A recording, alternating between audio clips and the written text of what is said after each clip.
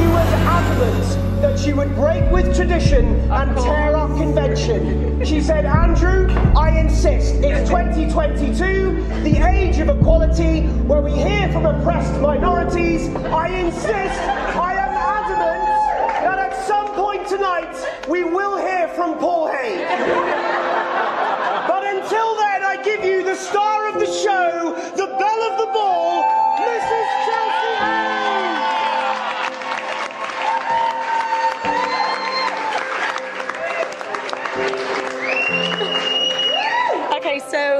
start by introducing myself um, for the first time. I'm Mrs. Chelsea Haig.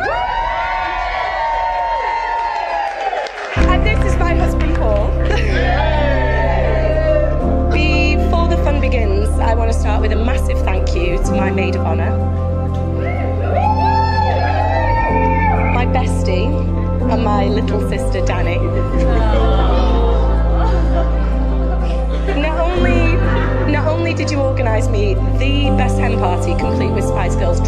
I mean, but you've been there with me and Paul every step of the way, every decision reinforced, and every hangover ridiculed.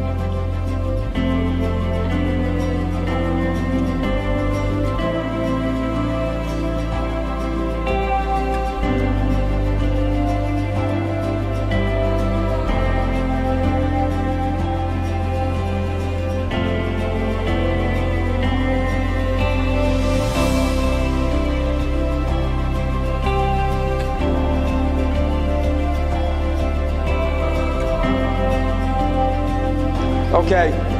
Well, I'm not used to making speeches and standing in front of people like this, so you will have to bear with me. And if I do start shedding a tear, just take the mickey out of me, I'm not bothered. Because that's what'll probably happen. Chelsea, she always says she's me firstborn and she's my number one. You know what, Dan? It's like football rivalries, this love. I don't know how that's going to work out, but whatever happens stays on the party table today, doesn't it? We all know the truth. We all know the truth, yeah. So today, today, Chelsea, I hand you over to Paul, and I know that I know that he'll love you as much as I've loved you for the past 33 years. 30, 32, 31, 32, whatever. So if you've got a drink, have a drink, toast them, and I'm sure everything going forward will be full of love and laughter, then everything will be perfect. Paul, you're the best thing that's happened to my daughter. Me and Maria are really thankful to have you part of our family. To like Pat, Ewan and Mark for, you know, making you into the beautiful young man that you are.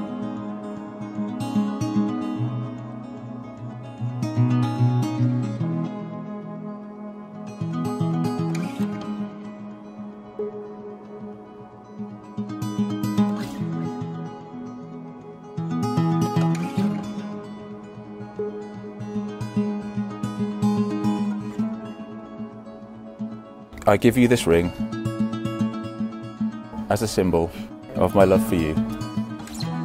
All that I am and all that I have, I bring to you. May this ring remind us of this moment and the commitment I have made to you.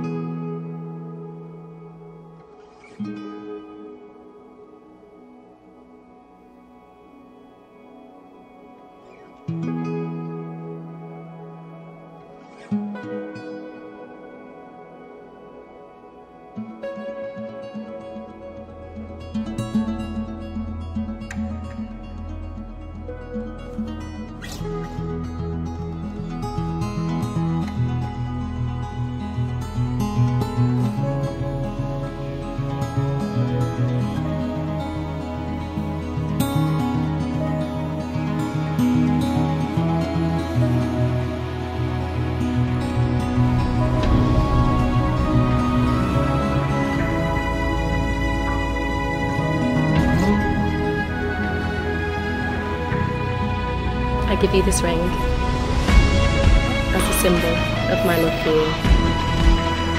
All that I am and all that I have, I bring to you.